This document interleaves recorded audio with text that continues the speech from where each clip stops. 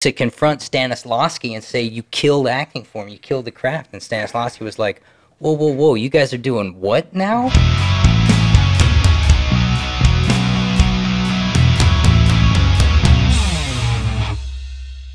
Hey, Stella!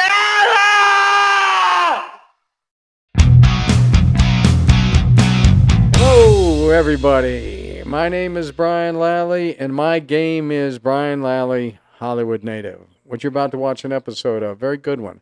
As always, sitting here with my partner in crime, Scott Williams. Scott, how you doing today? Not good, Brian. I broke my rib. Really? I did. What was his name? Joe? Simple. Don't forget that. Don't laugh. Don't laugh for the cracked rib. Uh, Scott, who do we have on the show today? Today, Brian, we have two great guests, Jack Walker Pearson and Jody St. Michael. Now, if you guys are interested in acting, teaching acting, studying acting, this is going to a really great episode. There's some good information. Jody St. Michael studied with Sandy Meisner himself at the Neighborhood Playhouse in New York, and he's got a, a lot of other experience. He's had other teachers. Jody made a living uh, doing animals, animal characterizations. He was in Gorillas in the Mist. He was in the Country Bear Jamboree. He was on a famous Samsonite commercial as an ape. Guy has quite an extensive uh, resume, uh, live action and uh, and character work. And Jack Walker Pearson was a teacher at the Juilliard School. Jack's got a uh, he's got a great deal of knowledge. He's well read, and we have a good time kicking it around, talking stories about about acting and and teaching and and what to do. You know, there's a lot of good information comes out of here. So if you like that, this will be an episode for you. And don't forget to like and subscribe if you haven't already. If you haven't already, what's wrong with you, Cookie? All right, stick around. Scott, what is the name of the guy uh, upstairs who makes the Oh, call? yeah. The name of the guy upstairs is Steve. What's the name of his company? Steve's company is Funky Junk Farm. Right. Yes. Oh, he's incredible. Yeah. He's incredible. I've seen him on TV. He works with Ian Rossell. And I said to Brian, if this is the guy, is he there today? I'd love to. I mean, I'd love to meet this guy. He's like, Forget this podcast. After this, I'd love to. He's phenomenal. Yeah, I'm- we can take a walk up there and see. yeah, his enthusiasm and his, you know, his energy and the stuff he does is, is it's incredible. And and I and I've watched him on some episodes with Ian, and I said, man, I'd love to meet this guy some days. When Brian was telling me he's in the building, I said, are you sure? He says, He Yeah. looks like this. He has the afro. He's he's got a real endearing face, always smiling. Yeah, no, and, and Steve treats everybody like you Ah. the most important person. I, I just got, I swear to God, I just got goosebumps. This guy is, you have to see his work and his, his enthusiasm and, and just like this, his eclectic collection of things is incredible. It's beyond cars too and stuff. Well, thanks for letting us know that because it's right upstairs, and we've seen it. I auditioned. I learned something really early on in my career. I was going to be naked in it at one point. I was going to do it. Is that Scott laughing? He's heard the rep my reputation. Am I buying a ticket or am I giving it back? I auditioned with, you know Dan Bell, the commercial casting director? Did you Yeah. take your clothes off for the audition? Just behind backstage, the guy asked me, he's like, "Come on, give me a, give me a look." That's so to get Hollywood. the play, it had Give me- nothing to do give with me a look. No. work. No, My, I just told him I had to use the bathroom. He said, "Well, you gotta, you gotta strip down if you want." my friend was, I won't say his name, he was in, uh, Nobody's saying anybody's name yeah, here Yeah, Some of these stories, Yeah. I'm sure. He was uh, he was on Broadway opposite Liam Neeson in uh, I think it was a, it was this show about Oscar Wilde. Was it called The Judas Kiss? Maybe. What I'm talking about. Anyways, it was about Oscar Wilde. So there's all these nude scenes. So he's naked in the show, and he said the trick about being naked on stage, if you're a man, is you got to you got to beat it off before you go on stage, so you look full but you're not erect. He, Wow. He actually said that. Yeah. Yeah, so you don't go on there. so, so you don't go on there looking, you know, unimpressive. and Liam well, Neeson. well, that's came up- interesting Liam because Neeson that's what I do before I go on Yeah. stage with clothes on. Just in general. Lee said Liam Neeson came up to him backstage. Was like, "What did he say, man? I, I, it's He a caught him? misquote." He well, he gave, he complimented him. Oh, I thought he. Whoa. He was like, he was Oh. like, exquisite or something. On his like penis? that. yeah. Yeah. Oh, My He's- friend was like, it was one of the nicest compliments he'd ever gotten. wow, because Liam Neeson has a legendary penis. Well. Janice Dickinson said when he pulled it out, she thought he was pulling out an Evian bottle. Wow. Yeah. It's, I it's green or what color? It's really clean, clear.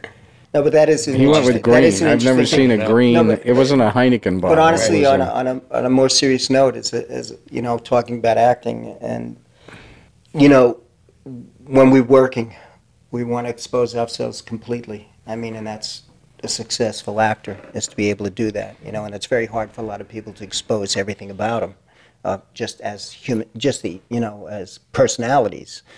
And I haven't worked nude on a stage. I've been partially nude, you know, and I've done in s- some films.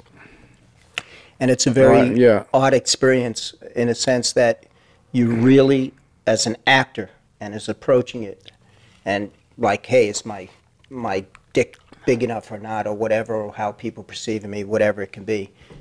It you really have to do. A, it's actually an, a great lesson in a way, uh, because you have to have a hundred percent commitment to say, hey, this is what I'm doing, and this is what I am, and then after, when you get off the stage and off the screen or whatever it might be, you can be as embarrassed as hell. But while you're doing it, it's a completely you have to. Well, it's freeing. I've been naked on film a couple You know. times. It's really freeing. I did a film once. I had to run down the beach naked and jump in the water, and when it was over, it just felt like it was crazy. You know, it's just it, it is a real freeing feeling. I'm a hippie, so I come from that time where we used to go to all these events and festivals and run around naked all the time. But you know, so's every you know ten thousand other people. but when ten thousand people are just looking at you naked, that's like okay. But um, yeah, I remember prayer for my daughter. They had I, I I auditioned for it. I actually didn't get it. I was real upset about that part. And you know, there's a real big segment of the uh, play where the kid's naked. And I was really thinking, wow, if I got it, would I do it? You know, just to be up there in front of the crowd. Well, this is important to keep in mind. Anyone auditioning for those parts out there, I don't, I don't whoever's listening, it's Everybody, everyone is listening. Everyone, who- watching. how, how about we say everyone who is listening? If you're an actor and you're up for a part like that, it's always negotiable. I don't care who you are, whether you have credits or not have credits. Those contracts are always negotiable. If you don't want to do it, you don't have to do it, and that's true. Well, as long as you tell the people before you get on set, because I had a buddy who was making a film and he put like fifteen grand out of his own pocket, and a chick there go gets there and she she wasn't naked, she just had to be topless, and it was a you know there was a, a sex scene. It wasn't wasn't weird. It was just couple getting together, and the guy had been sexually abused, so he had a problem in the bedroom, so it was you know, and so she shows up with you know this got the location, everything. She goes, yeah, I'm not doing it. Yeah, the conversation should be had ahead of time, but Yeah, no, it should be. but it is should be. negotiable. Anyone who thinks you're looking at a thing and it's just non-negotiable, Yeah, that's that's the point. I agree. Everything's. I agree. Beforehand. Yeah. So But maybe after you book the part. right. So now I'm going to go back to the basics. So, Jody, we know you're from uh, Oh, I don't, does anybody even know who I am? Jody St. Michael. Thank I don't think I even mentioned my name. no, I- but we the, we we've ways back to the around that because this is the movie world. We Oh, could okay. we could put you. You could be sitting there and you'd be like, yeah, you know. And then uh, I auditioned for this play, Jody St. Michael. Well, I guess I don't have to mention my name now. No. Keep working it in there for you, though. When did you know you wanted to be an actor? it's really interesting. I was thinking about it the other day. Yeah, it's a lot of years back, by the way. I was going to Oneonta College at the time, mm-hmm. and I was just like, you know, some guy over there for liberal arts or whatever I was up there for, just, you know, continuing my education. And a bunch of guys that I knew were actors, like just, and they weren't like together. It was like one guy here, he says, Well, I'm doing the Fantasticks next week. And I go, What? And then this other guy asked me if he could borrow these shoes because they look like boxing shoes. My friend Larry Kelly, who was one of the funniest guys ever in the world, and he was doing a boxing play. I forgot the, the title at the time. And then my friend Chip, he was doing a Shakespearean play during, you know, during the semester. And I was going, "H- how do you guys do it? How do you, how do you go up? I mean, aren't you know, you can get up in front of people and, and speak, and you know, I, I couldn't believe that they had the con- constitution to do it, you know, and that's where I first heard about it, or kind of had an interest. I left Oneonta for the worst reasons ever. I was actually kicked out of the school, and I I I went back east, and I went to Staten Island Community College Right. and they had an acting course, and that's where I started. Uh, this guy was really cool, Joe Giraldi, I believe, I believe his name is. I think I'm not quite sure. I believe I might have met Harold Clurman there at one time. Really? This would be a million years ago, and Well, of I course. can't remember, but he might have come in, and at the time. My limited knowledge of acting, I had no concept of who the heck was there. You know? Right. And It was just some guy who was in the business, you know. Well, my dad said about Clurman is that whenever an actor was feeling down, that Clurman's door was uh, always open. So I Right, my dad right. was an actor in New York, and I didn't know if you knew. So he'd be feeling down, he'd go in there, and Clurman would get up and he'd like, Bill, you're in the greatest business in the world. You're an actor. You should. And he would get up and he would just give him a speech. And my dad said, you could walk out of there walking on air. Well, the other thing is you, you're really you're touching history. You're Oh, yeah. greatness. People, I mean, kids today don't even know who the name is. So anyone who doesn't know who Harold Clurman is, Jackson. he he founded America's first real acting company, the Group Theater, back in the 30s. It ran for like nine years, but was humongously successful. I love the reason why it tore apart, though. The Group Theater tore itself apart because of sense memory work Right. and it turned into Stella Adler went to Russia to con- to confront Stanislavski and say you killed acting for form, you killed the craft, and Stanislavski was like, "Whoa, whoa, whoa! You guys are doing what now? no, no, no, no! We got it all wrong. As a matter of fact, this is what's up." So Stella Adler goes back to New York. I believe she went to Paris. Did she go to Paris to yeah, confront him? yeah, Not confront him. I She went to confront him. I didn't know that. Look, Stella there's- Adler there- was a force of nature. Oh yeah, that's why she wins. She was furious that this guy, what he was with Strasberg at the Yeah. time, was was doing with what he picked Right. up from what Stanislavski was doing, and so she goes back to confront Strasberg after getting it straight from Mm-hmm. Right. Stanislavski, and then Strasberg's response was, uh, "That's why it's the Strasberg system." Yeah, I'm not doing Stanislavski. Yeah, I'm doing my doing thing. Strasberg. And within less than a year from that point, the theater just ripped itself Uh, apart. and so Well, she and Meisner were together on their feeling about Yeah. about how it should be taught, and that's why that's why they split. well, to continue with the conversation to About tie you? in- well, yeah, well, Yeah. ties back in.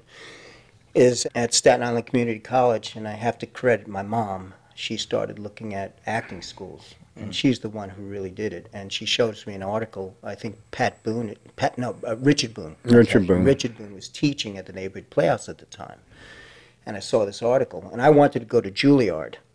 Um, it's an interesting story on it's a long story so i won't get into it about my audition at juilliard i did everything wrong which i recognized after i left i was a novice guy i wasn't an actor i was just learning the craft and See, I've known you 37 years that I can remember. I never knew you even auditioned for Juilliard.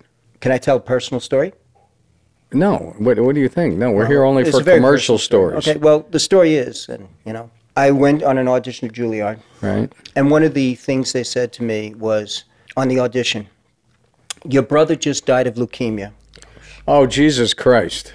and you're singing happy birthday to him. Oh Jesus fucking Christ! Well, people didn't know at the time. My brother just died of leukemia. right, I mean, Right. you couldn't make this up. yeah, Some weeping before right. cry, singing Right. happy birthday.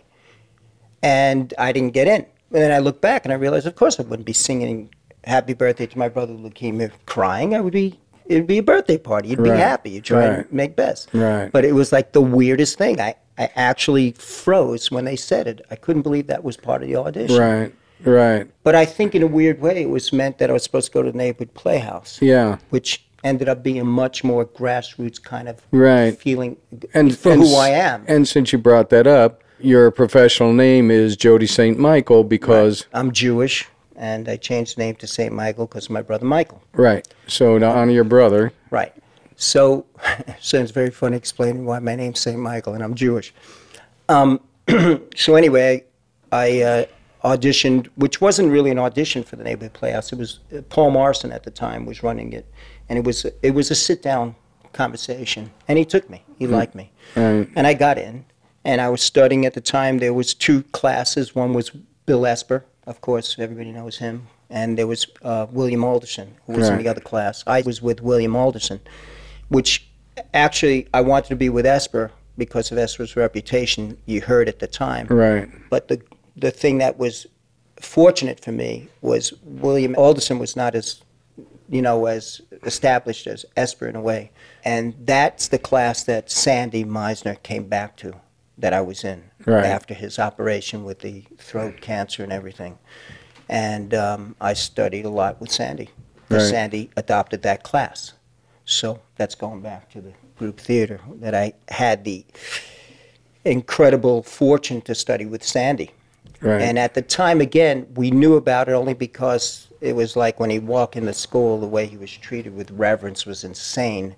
But there wasn't the internet then, and there wasn't all that free information to really know about the group theater and the history and who this guy was and what was going on. It was many years later that I realized, I go, oh my God, I studied with this guy, right. you know. Right. So that was my fortune. So uh, very quickly to end it for you is my whole, uh, which we probably discuss a little later, is about acting and techniques and who you studied with. So I would say my whole foundation is Meisner based, Right. but it, I'm not just a Meisner actor. Well, no, no, and and I certainly agree with that. And my teaching has gone that way because I drank the Kool Aid when I came up, and I, it was beaten into me and threatened into me that this is the only way to do it. And the good thing about Larry Moss's book is he thanks like thinks seven teachers at the beginning of it, and later on he has a small chapter about anybody who says this is the only way to do it because it's not the only way to do it. And I feel like I was ripped off a little bit. And I got my own, you know, percentage of that, you know, of, of drinking the Kool Aid. But I do believe the Me- Meisner technique should be the foundation. Well, there's an interesting thing. Sorry to c- continue with this, but the one I don't thing even know why I, we brought you here. the the one thing that I really didn't like about Meisner and, and the whole the whole atmosphere around it was it was negative reinforcement. right. And I really rebel against that. I've had incredible amount of fights. I don't like that. I don't want to be negatively reinforced. They would say, "Well, it's to, to, to you know the outside world to prepare you." I said, I don't have to be prepared. The world sucks. you know, I know what I know how negative it is. I'm here to be nurtured, and that's what I I like to do when I'm teaching or I'm working or I'm participating, collaborating, whatever it might be. But that was the biggest problem I had at the Playhouse was the Yeah, but- negative reinforcement. And we know over the years there's so much of that out of all schools, legendary schools or all schools. Right. But you are pretty positive. for um, you want me to say the line Yeah. or do you want to say it? No, know? you. my line through life is uh, i'm a pretty optimistic guy for a pessimistic prick And that is Jody St. Michael. well, So- we can go to the juilliard guy here Yeah. So, well, that's the thing, Jack. I know about you and respect what you do. We've obviously collaborated. One of, one of the great nights of my of my recent years is being uh, Christmas in your apartment and spending one two hours on ten lines of a monologue. Yeah, that was fun. the Dennis Franz, you know, LAPD Blue monologue that we sat there and just, um, it was hours that we, that's all we talked about. The beginning, where it goes, this and that. I just love that stuff. So being there and, uh, and for those who who don't know, Jack, uh, Jody owns a duplex. walker and- pearson i and- guess and- I, i'm the one to do the introduction yeah, and Jack lives upstairs, so it's, you know, can be a real, it was great for me. It was Christmas, right? I think it was Thanksgiving. Thanksgiving. Okay. And I didn't have any place to go. I'm I'm not crying. I just had I no, I just hadn't made plans. And I end up up there and I get food and we talk acting. I mean, what what is a better fucking thing? I can't. Breaking down a, a great speech from NYPD Blue, but I'd like to get into that deeper in a minute, but let Jack talk about himself first. But about about script and Yeah, of you know, course we're gonna- substance, that's you what- know, that's what- know- yeah, yeah, Because once yeah. you brought it up, I'm ready to to roll Yeah. on that. But uh, I I think people should know a little bit. yeah, what was my first Jack line? Do you remember my first Well, line? Well, we'll get to that. Yeah. Well, before about me, I want to say something about Jody. Um, I'll tell you what I love about Jody and why Jody is such a phenomenal actor. He's an he's an art enthusiast. the guy sees art in everything, and I think if anyone listening to this, if there's a takeaway today, find your enthusiasm for art. Man, Brian. You know what I love doing? Yeah. I love tapping that subscribe button. Mmm. I love it too, son. And just like all your dates, I tap it last. But nothing's as good as tapping this button. You see Brian here? He's not always doing the best. Financially, mentally, physically, for sure. You want to help keep Brian off the streets of Hollywood? There's a way you can help. Join us on Patreon. You want to tell him what we got on there, buddy?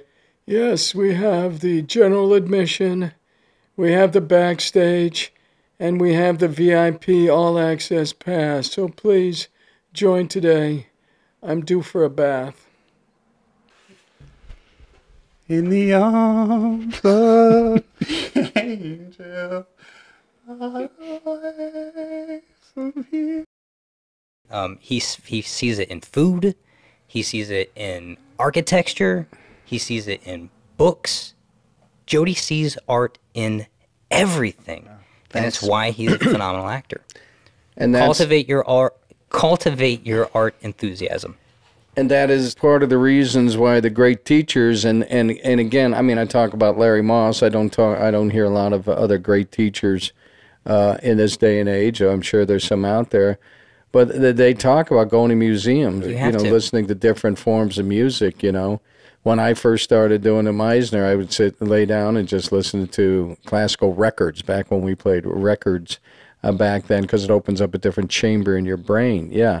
So you have to listen to all forms of, of art. You have to. And it really, and you listen to the greats nowadays. I don't care if they're the young uh, English, you know, the older Americans or in, in between. The greats all have a side that it, that is explored art. Yeah. You know what I mean? Well, you know, again, before I'd like to get Jack to introduce who he, who he is and what he does. yeah, um, just, keep, had- we're just going to talk. Let's we're going to talk. But uh, and if one- I think it's gone too much, I'm going to get Jack in here. So we're just going to talk. One thing you brought up, You negative prick. pessimistic. Pessimistic prick. But there's uh, one thing that you brought up that I, I stress an incredible amount in my work, and if I'm talking to young actors or anything, is the peripherals of acting and what you were talking about, the art or something. I, I always get, I there's a technique, and I always say that you know a chimpanzee can teach the technique, techniques of acting, and some are very good, by the way. But uh, what I try, and I, and, I, and I believe you have to know that to be a great actor. You must know the technique. But what I kind of stress now, because there's so much of that around, and so many people have been in, in you know, uh, introduced to that, is the peripherals of acting, uh, the things about life, like you're saying about the the uh, artistic things, uh, where you're coming from, who you are, what you do, um, and you know what you're good at, those kind of things that have nothing to do with acting that come back to it. So that's something I like to stress. And Jack, I really think let's let's just so talk about let you you know. Who Well, let's talk about technique a little bit. I believe this is the acting teacher, Richard Berlatsky. I could be wrong, so what the fuck? The actor's art cannot be taught. He must be born with ability. But the technique through which his talent can find expression, that can and must be taught.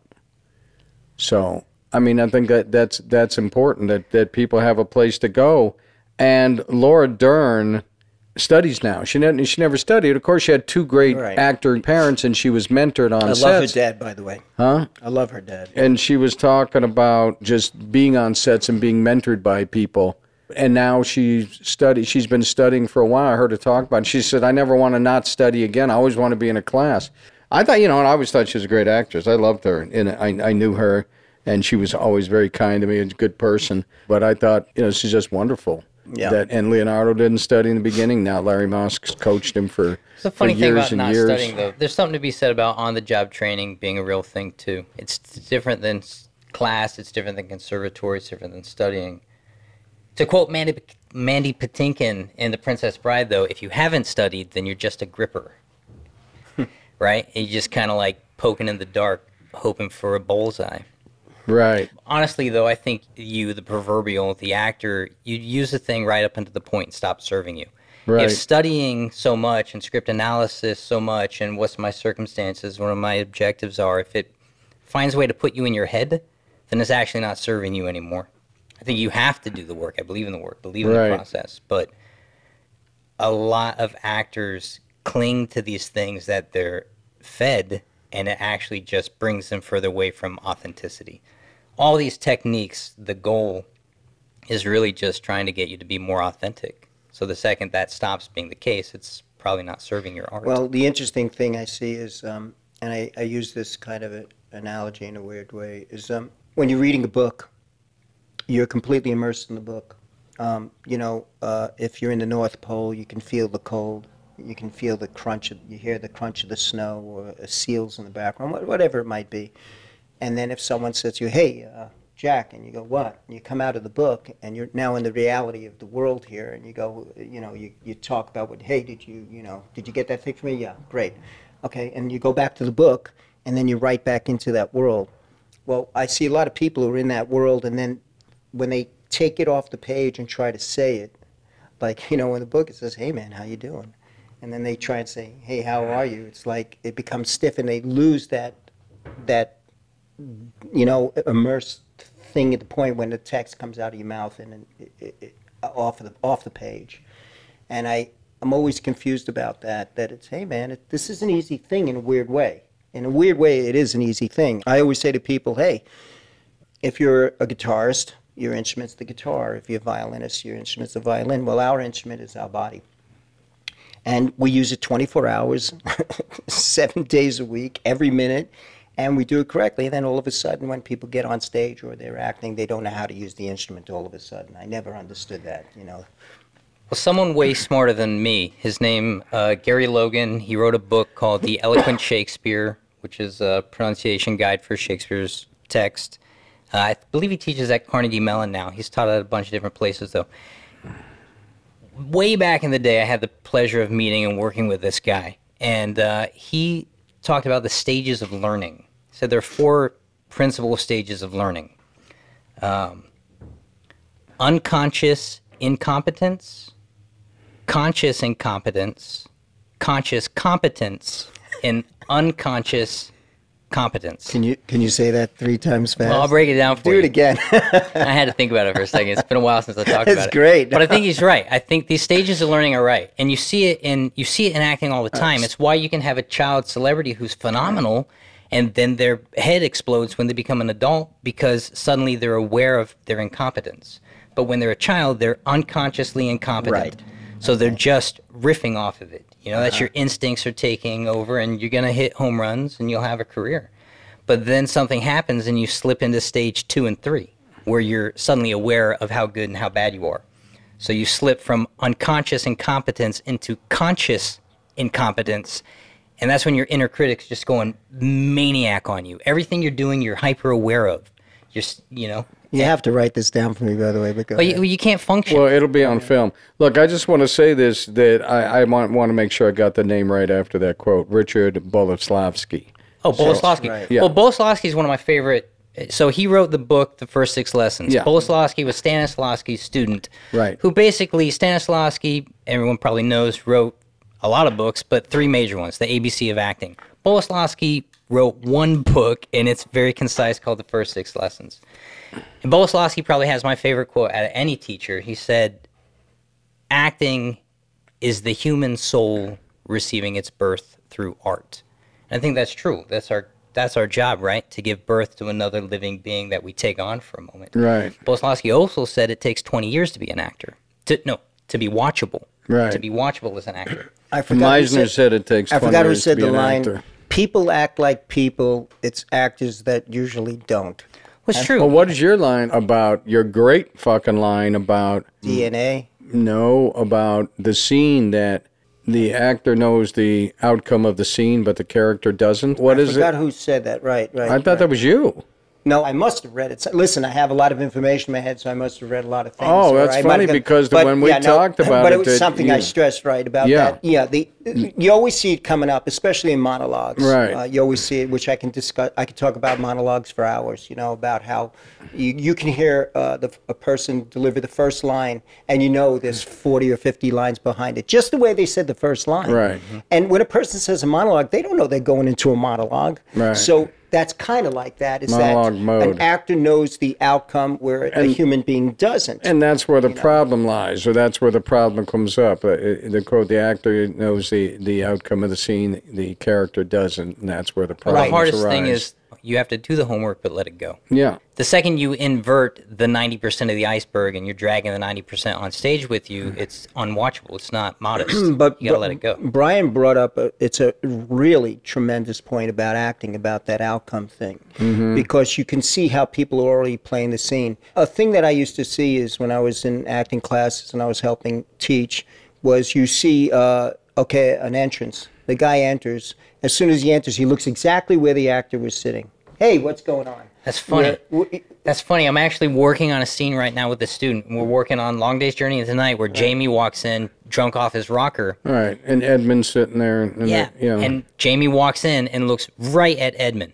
And I was like, how do you know where he's sitting? It's pitch dark. It's middle of the night. You're drunk off your Right. rocker. You don't even know they're in there in the room. They could be in the bedroom or they could be in the bathroom. Plus, Well, he's falling on the way up. He's falling down But- drunk, and and he's he's Yeah. quoting. He's What's- pontificating. And to me, what that is is actors rush straight to the thing they can cling But that's to. also in his head. He knows that he's starting the scene. That's where it is. Uh, a thing that I, I, I like to do is one is like tell the actor to go off stage and come in and they have the scene it's already planned and pull that other actor off the stage. Sure. You know, and just have the guy It's come in and just see him like, well, what do I do now? Yeah, you gotta. Well, you didn't know you, were gotta gonna sit there and have a conversation with the guy. You might have thought you wanted to have a conversation with the guy, but you don't know the guy's sitting there. You're assuming maybe he's home. But when he's not home, now what do you do? right. You know, do you look at me sitting there, you know, watching the scene, and you look at the, you know, people in the audience, or do you Right. start doing something of real life? Well, you know Right. that's And interesting too, because even the most skilled actors have to stay vigilant on that. Stanley Tucci went to my school and he came back and he talked, gave a little master session and talked to us, and he was talking about the Broadway show he was in at the time with Edie Falco, and they had done this performance for like I don't know. He said they'd done it like for a year at that point or something, and he was so over it. He was over it. He was like, How do you maintain authenticity and a fresh connection over that many performances? He said it was done. He said, he said literally, I was going to finish the line I, I had. I was going to walk up stage, leave the theater, and go home. I was just so over it by that point. And that's what he did. He finished his line. He turned up stage and started walking off the set. And then Edie said her next line in a way she'd never do- said it before to get him back. Right. and and Stan heard it differently because she gave it differently, and because he's a good actor, he was in the moment and actually heard it differently, and he turned and he responded differently, and then she responded differently, and before you knew it, they had a whole new show b- with all the same stuff. Right. What's the point? I should walk off the stage. You should walk, you should walk off the stage more often. You gotta you gotta be you gotta be willing to stay open. The second you're locked into a thing, there's no room f- to to actually be real. Well, when I was be pretty new, I was working on the big knife. Yeah. You know, working with my companion in you know early days of the Meisner technique, Annette Murphy, who the big knife. Pat, yeah, Clifford Odets, the big knife. Wait, where'd you do just that one? uh, continue with that, but remind me. I want to go back to what on something what Jack was saying just now. But go ahead. so Annette Murphy passed away way too young, but she was a really good actress and a good friend. Anyway, so we were working on the big knife. And so Annette was a, uh, she was just a specific type of person. She was her own person. She was just Annette.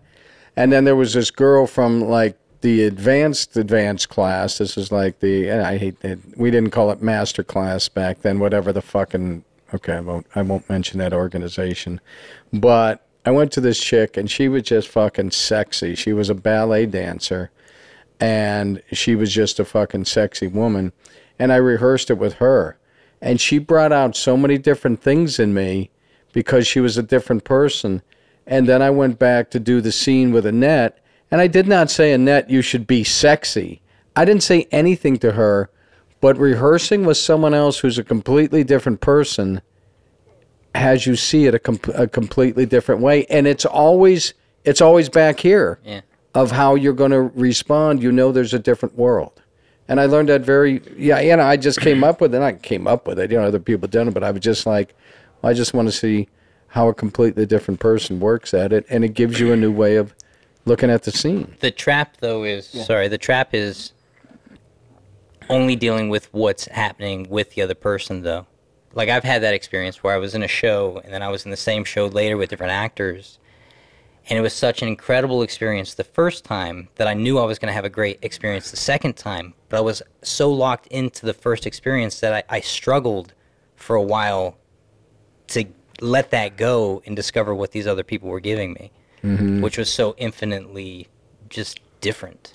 Well, you know, well, an interesting thing about acting is it's not really a solo endeavor unless you're just going to do one one person shows. but even Um, a one-person show. Look at Robert. Uh, um, look at Robin Williams' one-person show that was on Broadway. The credits roll, and you think you're looking at the Avengers. Like there were a hundred people are still involved in a one-person show.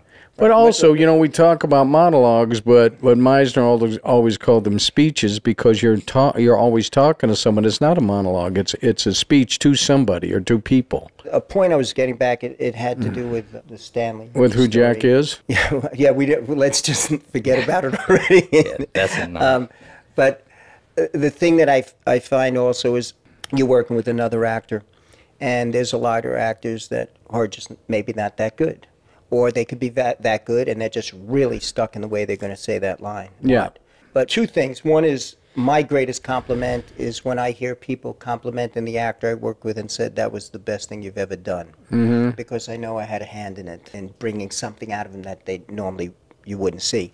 The other thing is uh, with with uh, actors who are not that good, or or younger actors, or don't have as much experience. I have people come off the stage and say, I mean, furious working with them, say they suck, this and that. It's, it drive me crazy. And I said, I love it. And they go, Well, what do you mean? I said, It's like an incredible amount of food they're giving me now. It's way more than a polished actor in a way. Because, like, if I'm telling uh, someone I love them, and they just very blandly say, I love you too. It's like, it's not an actor saying, I love you too. It's my girlfriend saying she loves me, but not with enthusiasm. So I go, What do you mean? I love you. You know, and, and to me, it's not an actress saying to me, you know, back. It's it's my loved one who Yeah. doesn't have the same passion I have. So it drives me crazy.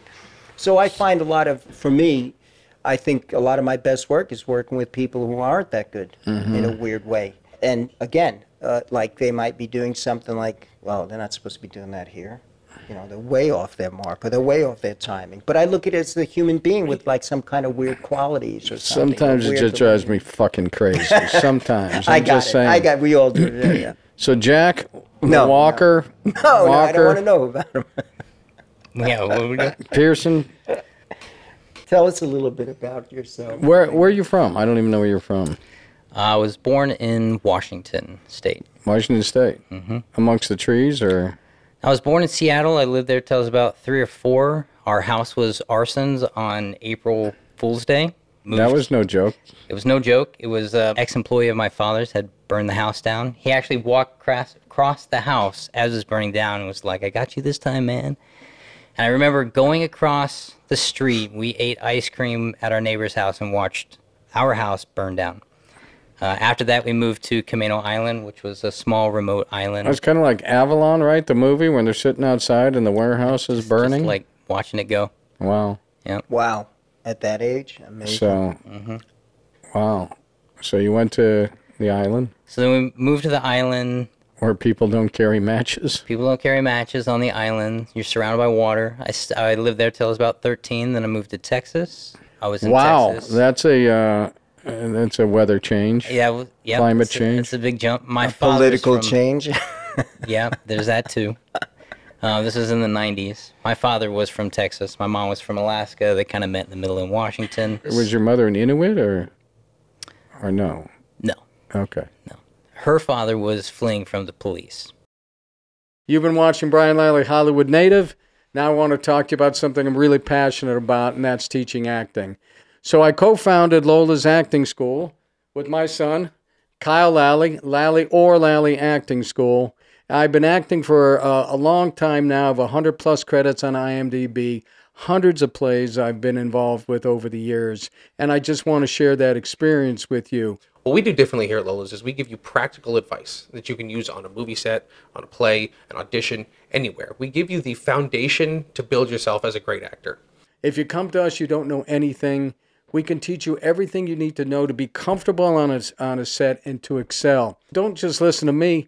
Look at what our students are doing. Daryl Wesley, who is writing on two hit shows, The Game and The Upshaws, and Ben Barrett, who's a series regular on The Politician, Megan Davis, who is uh, playing Amber Heard in the Johnny Depp Amber Heard story. Come check us out. We're at the Historic Arc Theater in the NoHo Arts District. You ever want to try plant based eating? I have. What, you're a little confused, overwhelmed? You don't know how to get started? Definitely. Well, there's a simple answer to that. Go to Debbie Chew's Chew On Vegan YouTube channel. Debbie Chew is a plant based RN. I've known Debbie for over 38 years, and she's very good at what she does. You go to the channel, and there's 300, over 300 recipes. They're simple, easy to make, and they're delicious. If you want to try it, you just might get healthy. Give it a shot. Chew On Vegan.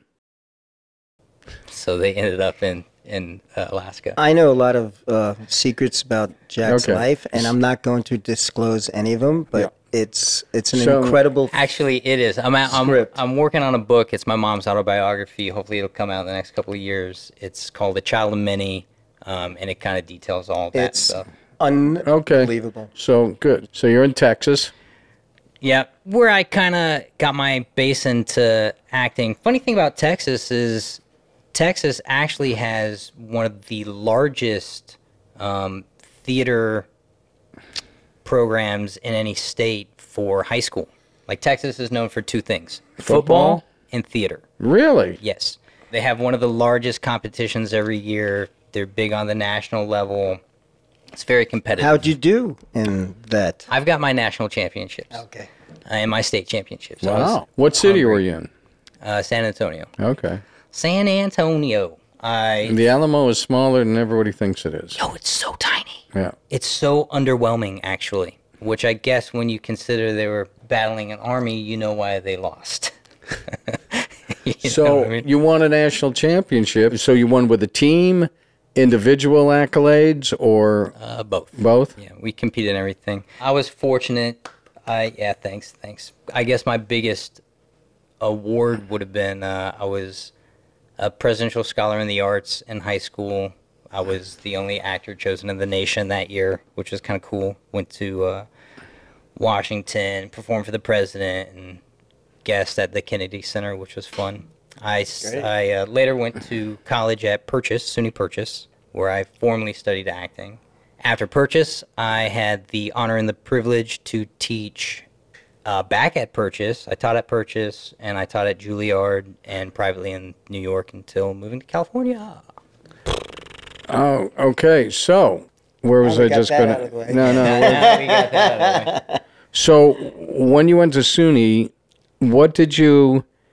Uh, colleges get a lot of um, flack for you know what they teach in acting. A, a lot of ti a lot of it's warranted.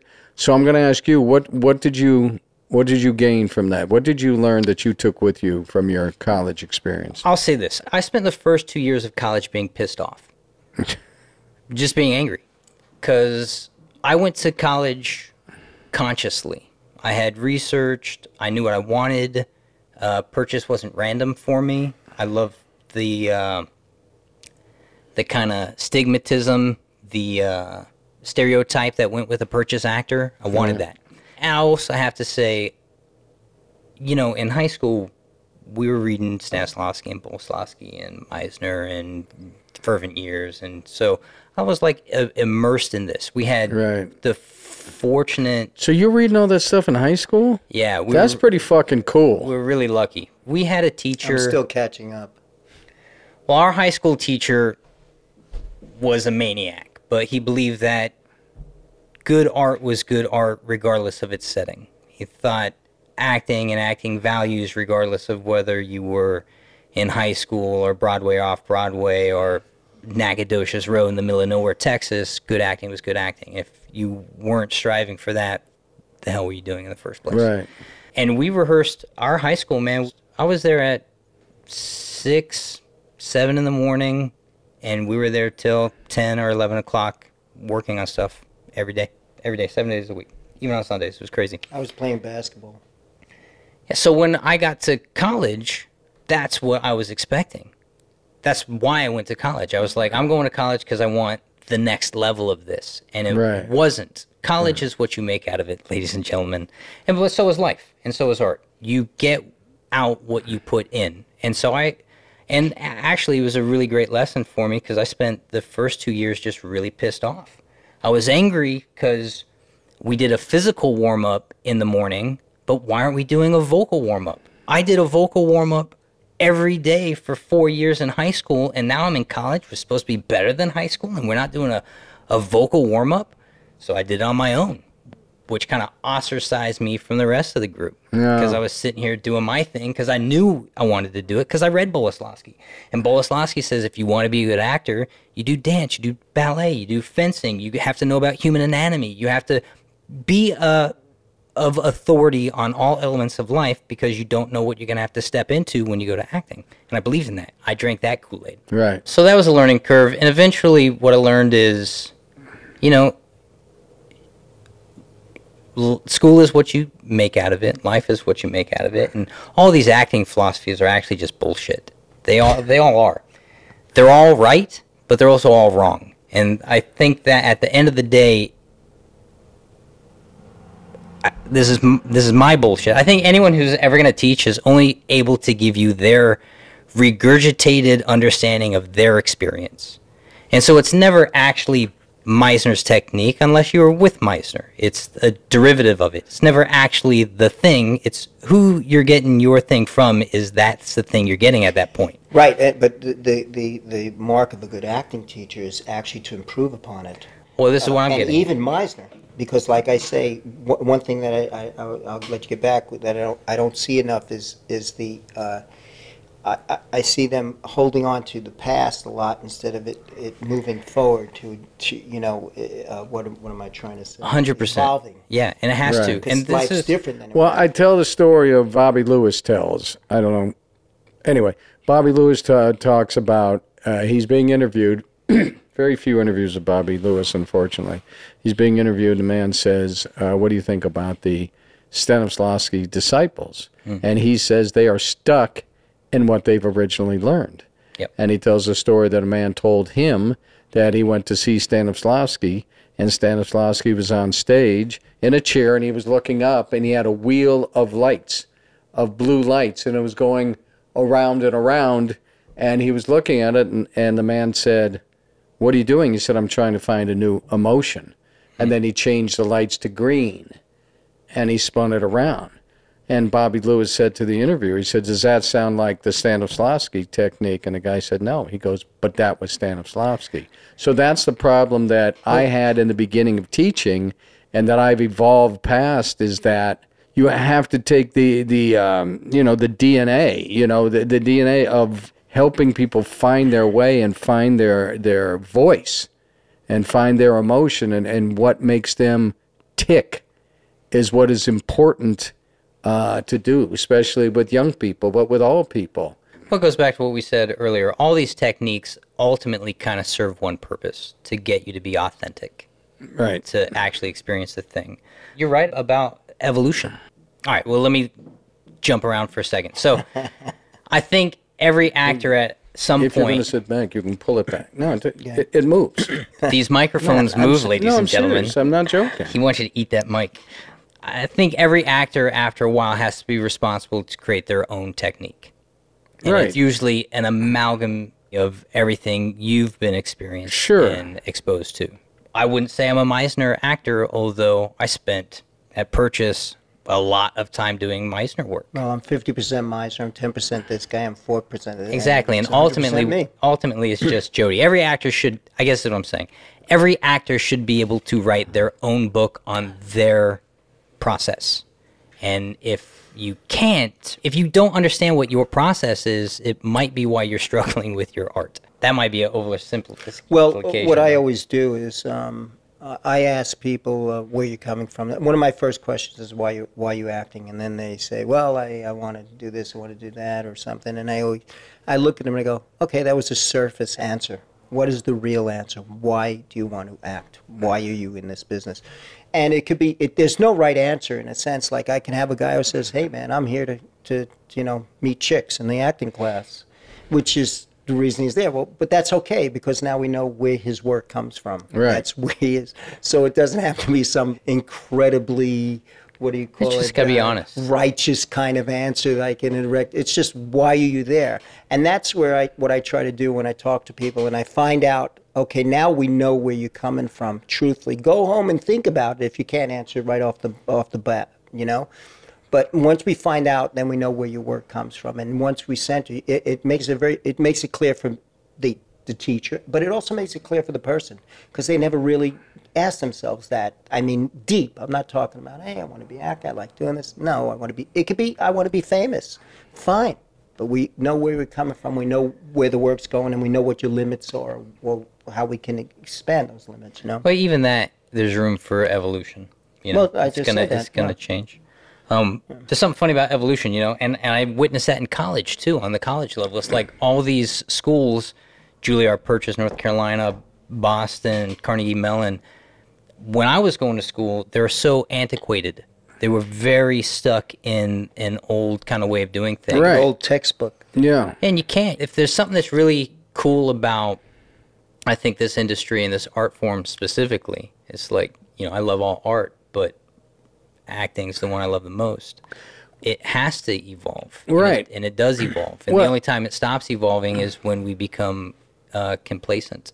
Strasberg was a brilliant teacher. And the thing is, we were all fed that because of the sense memory or whatever, that it was bad. But, you know, I teach the animal exercise now. I teach the picture exercise now. You know what I mean? There's so many things that he came up with that are good, but that's not what we were told. Mm-hmm. So you can go through people, as you said, it's a combination. I love Uta Hagen with the three minute Oh, exercises. even she rewrote her book, Right. denouncing her first book, Right. Which actually, I think her first one's better. I, I'd, like, I'd like to make a comment on uh, if Okay, Mr. St. Michael? who don't know about sense memory and the magic if, let's say. Basically, the, the sense memory which Strasberg was teaching was going back into your past and, and grabbing emotional things that happened to you and like Right. almost like a psychiatrist, like psych, what I can't think of the word we got you. but where Meisner was doing a ma- magic if. So meaning was like um, in the scene, um, your your your mother dies, let's say. Well, in in Strasberg, you you're going back to your real mother, and you you're taking that those experiences, and you know, and and putting in that sense where the magic if was if your your mother dies, you might laugh, you might hate your mother, you know, Right. but that's not in the script, you know, or what he was saying is also how you felt about somebody in the past is not how you feel about them today. You know, how you felt about someone 20 years ago Well, is not sure. how you feel about them today. So he would say, well, what would be? That's why the magic if. And uh, example they literally gave was if if you had a, a tuna can that was the most precious thing to you. It was like you, you lost your tuna can as a magic if as, as to replace to your mother dying in the script. And that's to warm your engines. Then you let go of the tuna can. But that's, I'm just trying to explain the difference for people is how Strasberg was doing that real emotional Right. grab. And Meisner said your viewpoint on emotion changes as time goes by. of course it does. Even if you laughed at the time, you hated your mother. You might you might be sad twenty years later. You know what I mean? Right, It it, right. it changes. You're right. That's and what you're saying. It changes. Meisner, I, like to favor Meisner's uh, approach. I like to talk about a guy. People would come into class and they would be doing something. And I'd say, and they'd say, "I'm doing this for my grandmother," and I would say, "You don't really care about your grand, you know, you know, it, it doesn't mean anything to you." And they would say, you, "You're saying I don't care about my grandmother?" It's like I have no fucking idea how you how you feel about your grandmother, but on the on the stage here, it's not coming across. You're not. And there was a story about a guy from class. He was talking about. He was trying to find it, and he talked about he had you know he had one piece of pie left that he wanted to get home and, and, and get to and he went home and his and he found out his roommate ate it and he punched his roommate in the fucking face well that piece of pie mattered to him but people are so afraid that you're going to think that they don't they don't like what society thinks you're supposed to like about grandparents or parents or brothers and sisters. You know, when people in exercises in in the Meisner technique, the Dorn activity, and I'm like, well, why don't you kick them out? They piss you off. It's my brother. What? You never kicked your brother out of a fucking room? You never? You have a relative? My God, my brother and I went over fucking tables sometimes. You know what I mean? Brother was two years older. You never had a fight with your brother. You never yelled at your mother. You know what I mean? Everybody wants to be known as the correct person. Right. And sometimes other things matter to people. So it is, but it's the imagination that Meisner and Stella Adler found so, uh, you know, so useful. I had an acting teacher who said, fuck polite. Oh, yeah.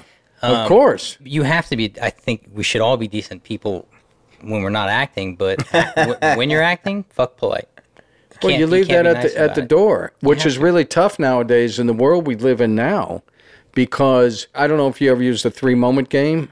It was a uh, Meisner. Someone would say something to somebody to spark them. It could be racially motivated, politically motivated, but you know we used this for years, and then the other person re- has to repeat it, and you say based on the way they repeat it how they were feeling about it, the emotion. You know, uh, one time I had a class of about 20, 25 young people. And I go, okay, we're going to three moment game. A lot of time it goes straight to the gutter. And so we were playing, and I had this girl. She was a young Persian girl. And I, I said, oh, she's probably not going to go too bad.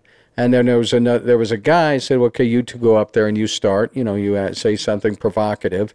And uh, I said, but this girl's not going to go too crazy. And this guy was about six foot six. He was kind of timid, and this woman was about five three. Huh? He's a giant. Yeah. And this woman was five three, and they stand across the stage from each other, and she looks at him and she says, "Have you ever had a deek in your asshole?" and I'm like, "What the fuck?" And the class just starts going crazy, and now all the girls are getting up and they're, they're like, "Have you sucked a dick this week?" Started the ball rolling. Yeah. So they're no longer saying, Have you sucked a dick? They're implying that I know you're sucking dick. Yeah. have But have you week? done it this week? When was the last time you sucked a dick? And they're going after each other. But it, it- but it was fun. I don't believe I, I can't really have people on stage saying that. That's the way I feel, and that might be untrue to me. To have people come up there and say, eh, people just won't do it nowadays. Well, Well, there's got to be a distinction between what's acceptable in art and art exploration and what we do on a day-to-day basis. Well, of you know? course there is, and one of the other things. But, the, I- but there's not, and that's why people are so offended by everything. We're, Well, we're, right. we're quick to offend and quick to be offended. We're very sensitive nowadays. Well, not everybody, but only the only the people that are going to blog about it. I think there's a balance to be found. You know, it's Yeah. like if if if you're doing it in the class exercise because this is where you can get away with doing it, then maybe you should check your reason. But But hang on a sec. What, what what I wanted to talk about one of the when I'm, I'm getting new students there, I say to him in the world that we live in now, that they have put you in a cage. Do you not want to go back to our instincts as human beings and be able to just be free? And say what you want. There's a couple things you don't want to say, and, and, and I believe in that. We have some rules. It's just like intentions Well, a that's big what thing. it Well- is. You know, there's a balance to be found. when we were doing fantasies with Meisner, they said in the beginning, they said, we don't take off our clothes here. Meisner said, we don't get naked here because if you're not an exhibitionist, you're going to have an experience of being naked. So what we want you to do is create an experience. yeah. Well, this no, the conversation you, you brought is going to another point. Of course, is are we on camera at all too? I guess. Yes, we got. old- yeah, there's six cameras yeah, I on you, Jody. I you know, there's I, six I don't do cameras. these iPods that much. Yeah, there's six cameras on you in case you Jack- haven't seen them Jack all around the room. Uh, Jack is a lot younger than you and I. Not in spirit. A really different place than Jack does, and I mean light years, literally light years of what you and I have experienced and what he experiences. And part of that is there's so many things now that man you can't touch or you can't go near. Because it's not only just about how it's so politically incorrect or turning off. I mean, it's also about now it's liabilities and lawsuits. I couldn't even imagine having a class and teaching a whole bunch of students, and, and one thing comes, and the next thing, she, you, you, you're getting subpoenaed, you get sued for, you know, for something crazy in there. Right. When a lot of the stuff that we have to do as actors and as acting teachers is cross a lot of lines and go to a lot of places that can be very offensive without the intent, but that's part of the process of what we're doing. But then again, you know, the product is even different now. You can't make movies that you and I knew when we were growing up. You can't make these movies. You can't say certain things the way it is today. It's a whole different world. And it limits the arts. I should be able to play anybody I want or anything I want. I shouldn't have to be, you know, a certain race to do this, or I, I have to be, you know, a certain, you know, person, or I, I, I you know, I, I shouldn't have to be an artist that can only paint one picture, and that's one picture from who I am and what I am. But it If goes want- back to. I'm sorry not to cut you off, but it goes back to intent, Please. right? But now intent doesn't matter. It doesn't Viggo, matter whether it's Viggo intent or not Mortensen was asked, "Would you play Othello, given the opportunity?" Viggo Mortensen, and he goes, uh, "Gosh, I, I mean, what an incredible role, but my question would be why? Why? Why would I want to play this role?" Well, just know- like I'd want to play any role. No, I but- mean, if you're talking about but as a, as a, a goes back to- professional thing or to make money or But we to all be have the to be responsible for the work we put out there, You know, and why I, we I, put it I out understand there. what you know? you're saying, Jack. It's like, how does a movie set in Egypt get made wh- wh- where everyone in it's white? That's not a mistake, dude. You No, know, and we I- have to I- be responsible for the work we put out there. I and so maybe maybe the industry is getting a little tight, but I think it's warranted on some level because it will bounce back. Yeah, it is bouncing back. I mean, they literally tried to cast, and this is real. I found this out recently.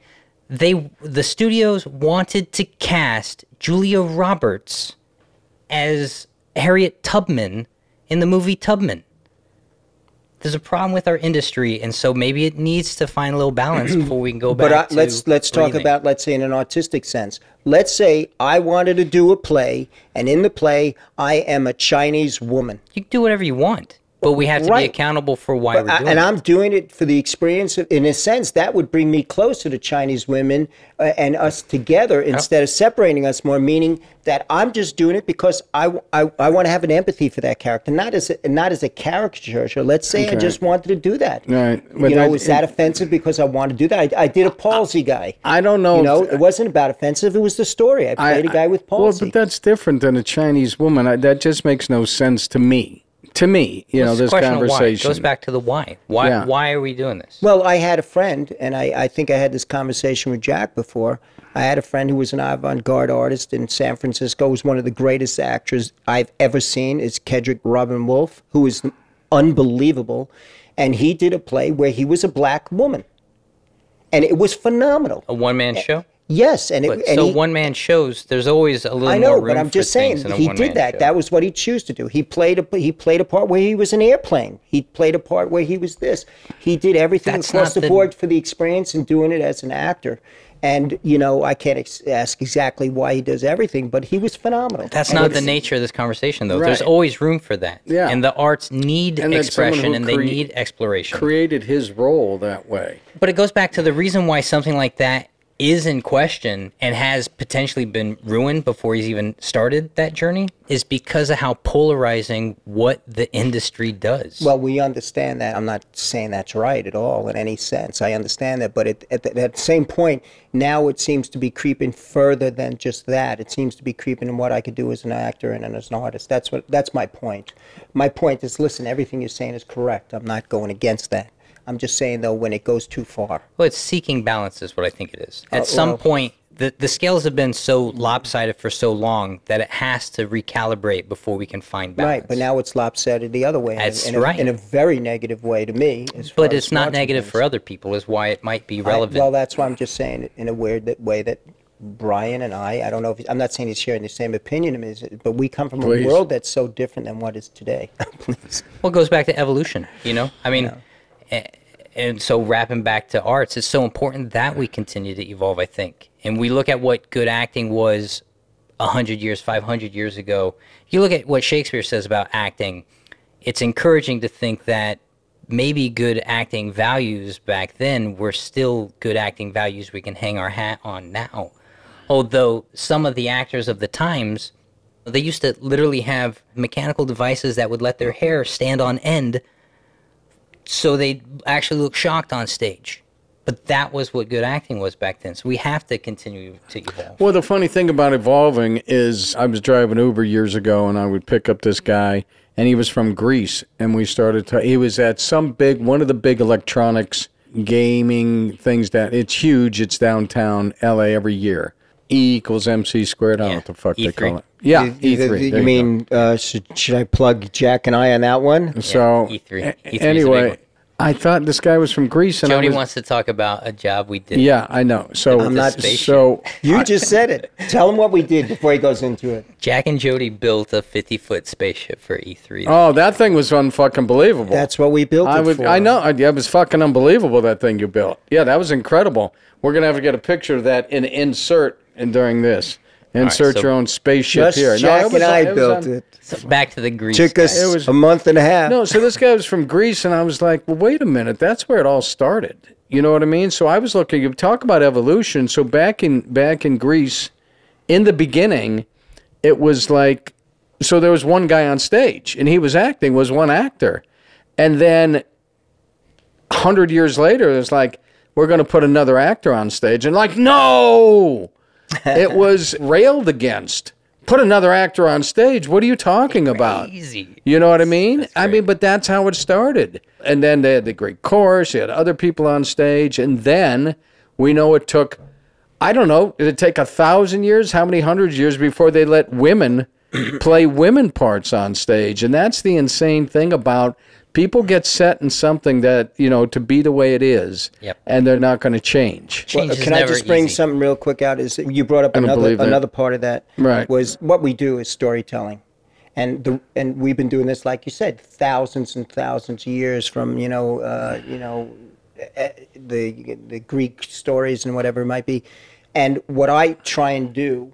And it's something I, I would probably get into in a little that I would like to talk before we do leave is about script and, and, and, and words and stuff. That might have to be bring- part two. is bring in the rich history of storytelling in a contemporary form.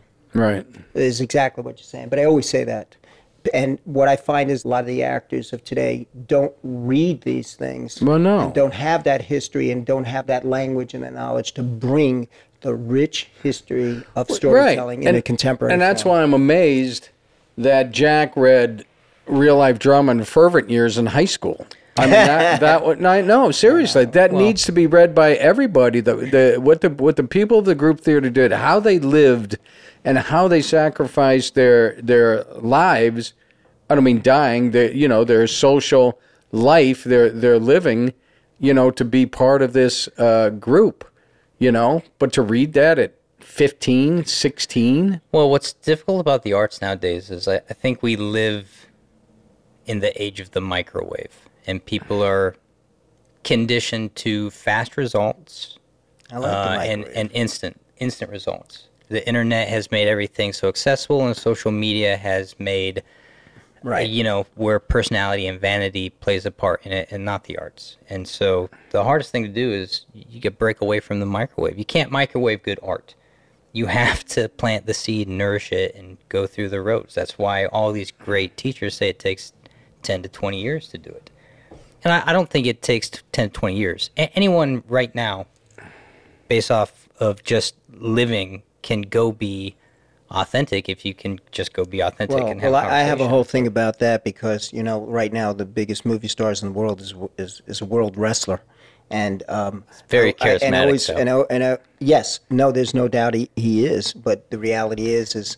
Uh, I wouldn't give him a violin and tell him to go play But he also- but he also at, wouldn't at the Hollywood try. Bowl. No, what, what I'm trying to bring at, I'm not saying he's bad, but what I'm trying to say is that the audience and people are used to mediocrity. There's the standard of acting the, is is not as high as it would be as if I went to see a concert. Uh, you know, the really tremendous. I've seen the best actors in the world in theater who are unknown, unknown, and people think they know good acting and what acting is and every, and I think that the standard is mediocre. Well, it's also You because know, anyone as compared to other anyone arts. can be a critic, though. Your your uncle Bob from across the street can be a critic on the art of acting. You know, I- even though they haven't studied or any of that. I want to say about Dwayne Johnson. He's great at what he fucking does. He's not doing Shakespeare, but he's great at what he does. I'm not saying he's and what no, but just, but you know, but that's person. but there's a type of acting and a type of show that he puts on, and he's phenomenal at it. But I'm and going- that's why he's right. But I'm going through the whole history. But of- even if of- you look of- at you look at Dwayne Johnson, if track his trajectory of being an on-screen artist, you see that evolution into artistry. You know, and there's a lot of great. uh, Will Smith's a Listen, I'm not. I'm not knocking him, and I'm not saying he doesn't have the right dude. I'm just trying to say that I believe out of all the arts, if I'm looking at a painting at the Guggenheim or whatever, the level of acting acceptance is m- mediocre as compared to other arts. That's what I believe. well. Well, I, th- I think the there's process. still people hang, that are, hang on though. It's the process that's different. Is what he said. You can't walk. Most people. I'm not going to say everybody, but most people can't walk up to a piano and play Chopin unless you've put in the time. Right. The difference with acting, and this is the irony of acting, is we're all actually putting in the time all day, every day of our lives, but it's not conscious. You know, we still have Cate Blanchett. We still have Kate Winslet. We have people that are that are, are so fucking good and so good to watch and hard to watch sometimes because they're so fucking real. I mean, we have that, and then we have the other things. I mean, I like the Avenger movies and Well, stuff. even Clurman said it. Harold Clurman said, "You need some flops, you need some failures, so you can appreciate the good ones." Well, I, So I have, same is I have a probably quote I wasn't art. prepared to bring today. I have it, and it was written like in 1920, and it was about movies being made for entertainment and not for an artistic quality. I mean, this goes back through the history of filmmaking. I'm just bringing a point out. It's just another point I'm the, bringing out. The thing is, at the time where we are in this country and the world, we need a lot of a lot of entertainment. Sometimes it's too dumbed down. It's dumbing us Well, down I'm- too much. you know. Okay, I- sometimes it is. So let me get back to this. This is something I wanted to talk about when we got here. Jack, how did you get to Juilliard? Well, I taught at Juilliard. I didn't Right. go to Juilliard. I had the fortunate, fortunate chance of studying stage combat with a guy named Felix Ivanov, who recently passed last year. God rest his soul. Um, Felix was this Ukrainian cat, clown, master clown teacher, but he taught combat at Purchase, and he and I instantly hit it off. Um, he was much older than I was, but age is a funny thing, you know. When you're destined to be great friends with someone, it kind of transcends age, race, religion, politics, gender. And uh, he and I became great friends. And when I graduated, he asked if I want to teach with him. I was like, "Are you kidding? What an incredible opportunity!" So that's kind of how I got in the door. I taught stage combat. I taught combat at Juilliard. Right. So, did you experience any of their process by being there with the other actors and stuff? Yeah, or- well, I knew a bunch of the actors at Juilliard. I had actually gone to high school with several of them, and the thing that was cool about my high school is we always brought back guest teachers and stuff. It's crazy that you went to Juilliard is so hard to get into, and several guys you went to high school, or people that you went to high school with in San Antonio ended up in. Three Juilliard? people, yeah, that I knew. Wow. And so I would go back and teach classes and monologues and audition stuff. And um, same was with me when I was in high school too. We had all these great guest teachers coming back from Juilliard, Boston, North Carolina, all the acting Ivy League schools. Um, but you know, I would say, listen, there's something true about all these schools have a stereotype about them, and the stereotypes are true. and you could see that manifest. But the other thing that's just super true is honestly, it doesn't matter where you go to school. It matters what you do while you're there. to- Yeah. Hey, I always say that you learn a lot from a bad school. Right. You learn what not to do. Well, it's all about habits, you know? I mean, it's the habits you incorporate are the things you walk away with. So a bad school can teach you really bad habits. A good school can enforce bad habits. You Oh, know, no, it I goes agree. See, if you have an one of the things, Jessica Lane, she was on a series, which is a really great series, uh, Off Camera with Sam Jones. she talked about Juilliard, and she talked about at the end of a semester or the end of a session, I don't know exactly uh, which, that the, she would go in there and they were, they would give her compliments. They would, they would be, you know, they'd be nice and say things, and then she said then they'd get pretty, pretty rough and really tell her what she needed to work on, which sounded like a good way to do it, you know, because as you said, this negative reinforcement that we've seen with so many of the big schools and the big teachers. She said they got in and said this and this and this worked and this worked and this worked. And now you really have to work on this, you know. She said it was pretty I think she said it was pretty tough, but Yeah, I think all those schools pretty much do that. Purchase had a version of that. Even Dave Chappelle, I was watching his thing yesterday. He talked about how, um, man, and the semester breaks, they just tear into you about the stuff you need to work on. Where was this? at the School of Performing Arts he went to in Yeah. DC. Mm-hmm. We had like written critiques and stuff from all our teachers of what we were working on and not working on, things like that. You know, the one thing I'll say about Juilliard though, the level of focused concentration, like their concentration level, was very high. Yeah. Yeah. They knew they were at the echelon of training programs, and you could tell that. Yeah, there's an interesting thing about going to acting classes and instead of being some kind of program like that where you start at, you know, eight in the morning and then you go all the way through three, four Yeah. o'clock in the afternoon and you have two acting sessions, then you have other things that are peripheral. But it's a it's a whole different discipline, which I was fortunate to have Yeah. uh, uh, early on. I was older when I started. I was 10 years older than most people in the school, and I rehearsed 10 times a week. And the teacher, you know, who ran the school was like, you, you know, cut back on your rehearsals. Like, what? He's like, I think you're rehearsing. You should cut back and make them more meaningful, but keep rehearsing. And the thing was, I had, I had a full time job at a baby, you know, when I started, and um, I had my buddy Clark Tufts and Annette Murphy, who I mentioned. They were down to rehearse any time, so I'd get up at six in the morning, and we'd get in rehearsal before I went to work. Or I was selling cars, so when I got off at nine at night, they were down to rehearse at ten at night. You know what I mean? You have to find the people that are like-minded, that are going to go with you and go up with you. Well, it's so like Jordan and Kobe, you know, stay Yeah. and Bird stay in the gym, you know, hours after everybody left. yeah, thing I prided myself is I always felt I worked harder than, not in a competitive way, but I worked harder than anybody around me. You know, Right. I would read the script until the thing was shredded, literally shredded, fall apart in my hands. Yeah, I'd put it under my pillow, so I, even when I wasn't working, I committed to the idea that osmosis was working for me. Well, I had a thing, and very quickly, uh, what I believed also when I was doing a lot of work, I did Death of a Salesman, which is tremendous amount of script. And I had learned in a short period. Um, but what I always did was uh, I'd have the script under my pillow. I guess it's a symbolic gesture. But what it meant was uh, the second I woke up, I read the script, the whole thing. Did nothing. Didn't go to the bathroom, didn't do anything. I read the script.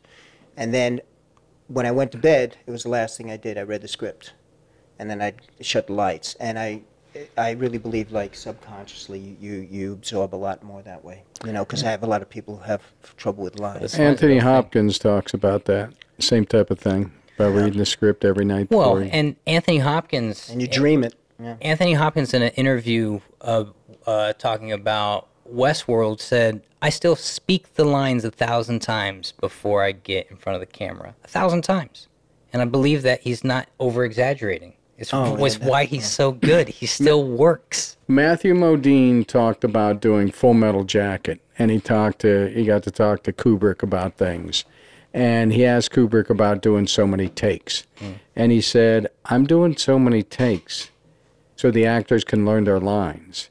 He said when he was first doing it, he was working in England. He said he'd see these actors, and they'd be in the corner, and they'd be talking, and they'd look over at him, and he said, "These guys think I, I don't know anything. I'm young, and I and uh, you know they're fucking talking about me all the time." And he said he found out that the British actors Yep. were learning their lines. They were going over their lines and going over their lines. And when he was with American actors, they didn't know their lines, so they took 40 takes to learn the line. Just, it's insane. It's lazy. It's why Tarantino said he'll work with the soap actor any day. really? He says no one's more prepared. He goes, here's the unfortunate thing about soap actors. They get held to the stigmatism that it, they're all shit actors. But you try being an actor shooting 60 pages a day where you get one to two takes. Right. And tomorrow you're shooting another 60 pages. And you think Yeah. you're walking away with phenomenal actors? Fuck you. These some of these soap actors are the best actors out there, but they're so pigeonholed into a thing that's so fast moving that you slow that process down and actually give them a chance to work on a thing for more than a day. Right. Yeah, you're going to get an actor who's prepared, knows his lines, and is going to give you a performance. I just auditioned for General Hospital. that Mark stuff Deschner? moves pretty quick. Two How things are I wanted to say was one is you made a point is that it shows actors who uh, have a fear of learning lines and pages that it can be done. Mm-hmm. I worked with some The hardest thing that is had not- to learn a lot of pages quickly. I didn't think I could do it. I said, "There's no way." But then I saw other people doing it, and I just oh, I got on board real quick. You know? People used to ask me, and this is such a, it's such a question that I feel like actors get. They go, "How do you how?" For people who aren't artists, they ask you how you memorize lines. How do you memorize so many lines? How do you do that? The hardest thing is not memorizing lines. Anybody can memorize a line. The hardest thing about acting is forgetting the lines. Right. It's got to be so in your veins Yeah. that you can honestly let it go. Yeah. how profound. So it goes, I like I'm, it. I'm gonna wrap this You- back around. we It just goes back about to that too. goes back to the stages of learning, right? So anyone who is listening to this podcast Oh, at the beginning of it, the- I'll wrap Six it back up. cameras.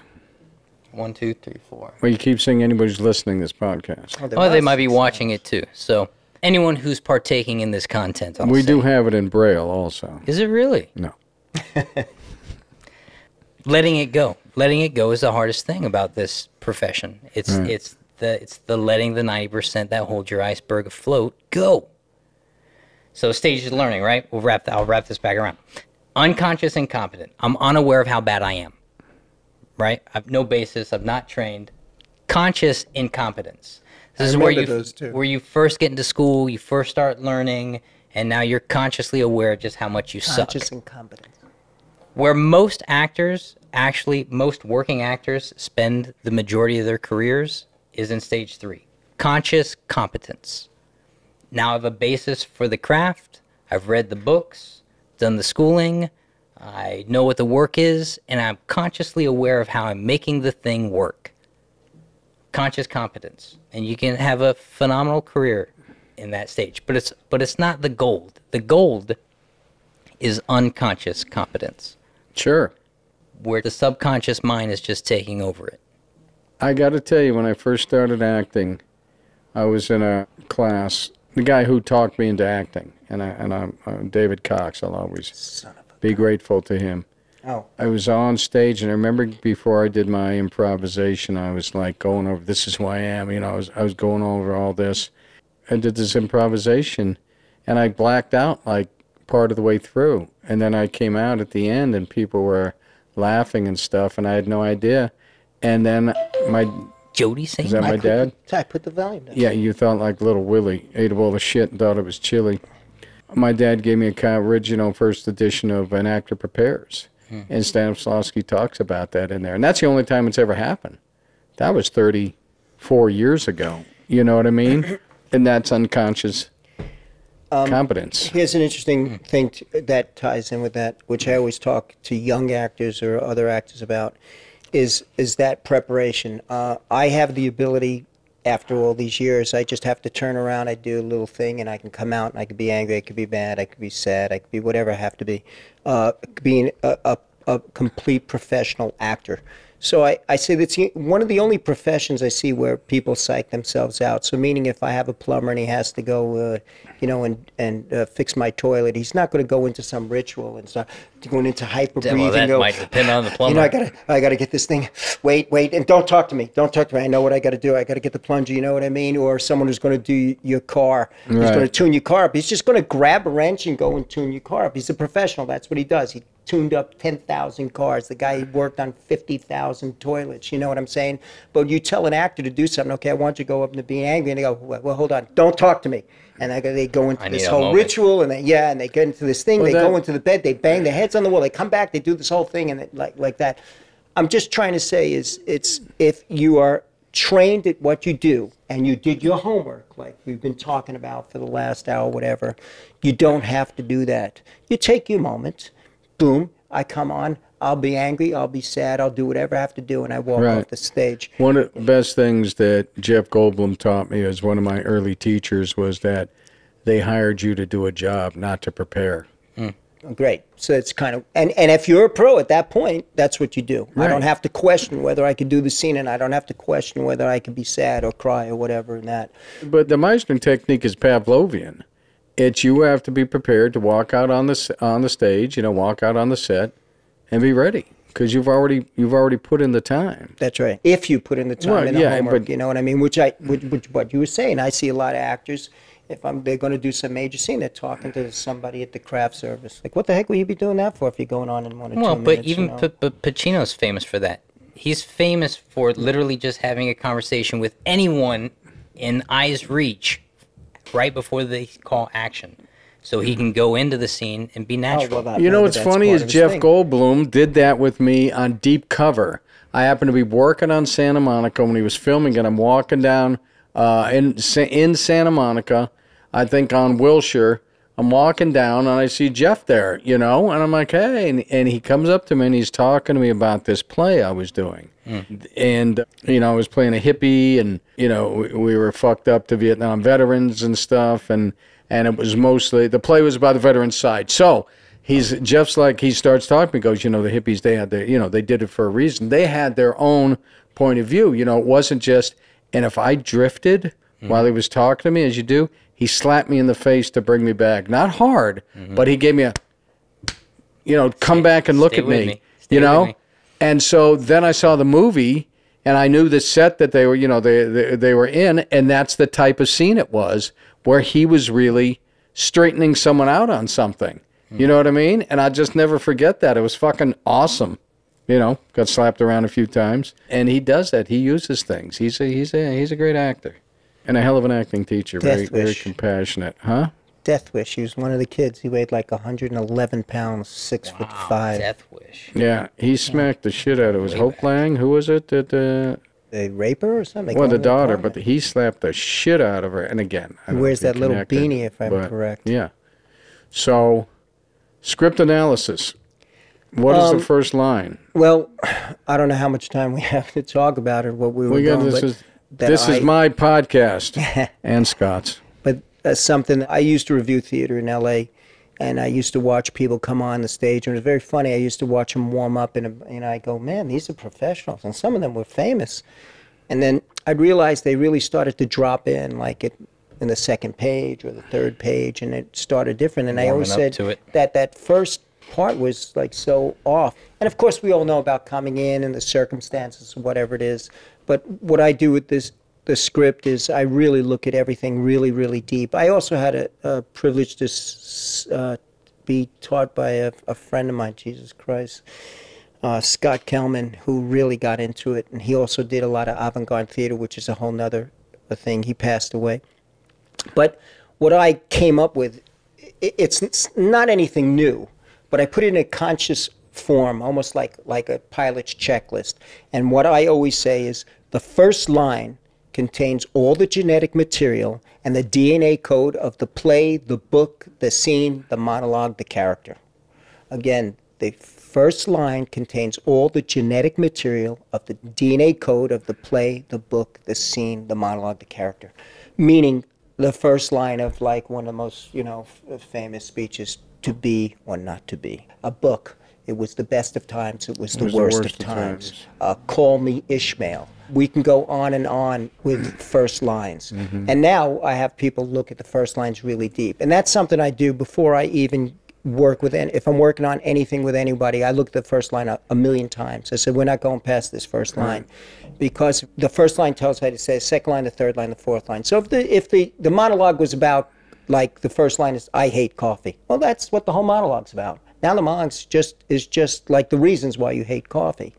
So that's what I get into is the first line. And the first line is there, it was either intentionally put there by great writers or it was subconsciously put there, but it'll always work. Even if it's like a throwaway, like, hmm, it says so much about the character, what's going on. And if you hit that first line correctly and understand it, you and the reply line, let's say the reply's first line, we will already see what's going on or have an idea of what's going on, and we're usually pretty much on it. You know what I'm trying to say? But that's something I work on, and I, and I go over it.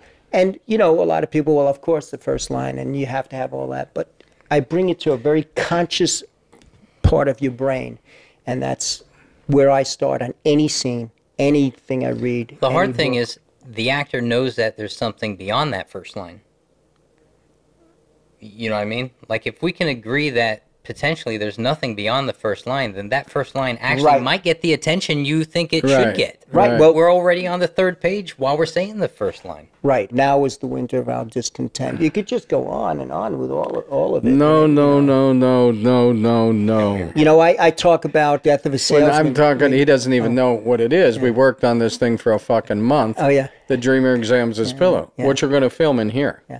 In And- here. Oh, great. This is what a great place. But uh, like I worked on. He was on a roll. Death he didn't want to hear about Well, the that. last thing. No. Yeah, yeah, yeah, yeah, wanted- yeah, yeah. very- No, me, no, no, no, no, no, no. a really great example is I worked on Death of a Salesman, and the first line in Death of a Salesman is Willie going, "Oh boy, oh boy." It's a beat up salesman. It already told everything. And his wife's first line is Willie. Well, it's a woman who cares about a husband for the Right. next two and a half hours. That's the whole play. Now we understand why he's beat up and why she cares about him, and it tells about. And then the play goes on. Just that, that to me is magnificent, and just an example of it. Those two lines. He just says, "Oh boy, oh boy," and the whole thing is about two and a half hours about a beat up salesman who's tired of life. Going know? through the script, Cate Blanchett and Inside the Actors Studio, she talked about it, the technique where you're literally throwing your lines out, where you're physically putting them out there. It's pretty interesting. I looked I looked into it. I think she said she didn't study that, but she just said we one of the things she talked about when she first gets the script. So I was teaching a class with with Franco, and we had 32 students, and we were working on waiting for Lefty and it was the Joe and Edna scene. And we had 16 male and female students um, doing the lines at once. And they were, it was pretty loud trying to, to get it across. And then there was uh, Michael Harris who was in the back. I think he goes by Joseph now. And I just remember him screaming. He was screaming so loud, and I thought, this is what it's about. This is this is exactly what it's about. Be- because of that, what we were messing around with that with the the the script and trying to find life. Joe and Edna. Joe is driving a cab. He can't. It's the depression. He can't make enough money to support the kids. The kids didn't even know what a grapefruit was. They have no citrus. They're going to get scurvy. And the wife is about to go meet up with her old boyfriend because he has a job. And Joe just wants to be heard that he's doing the best he can. And Edna just wants to be heard that she'll do anything so her kids don't die. And that's what it was about.